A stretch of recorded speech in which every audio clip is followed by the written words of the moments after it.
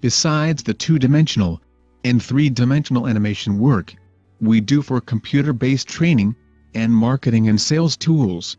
We also develop technical manuals.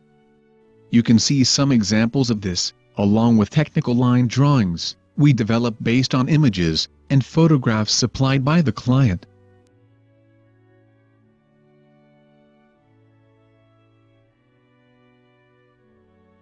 We also create wall charts for engineering companies.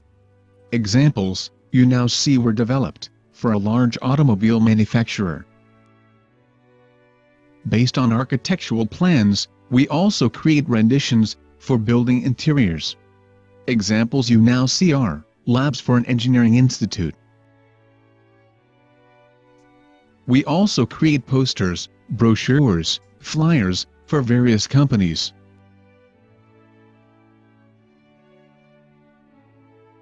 We hope you found the end product appealing both for its content and its presentation. And look forward to your feedback and comments. Please look for more clips by Thalia Infotech and visit us on thaliainfotech.com.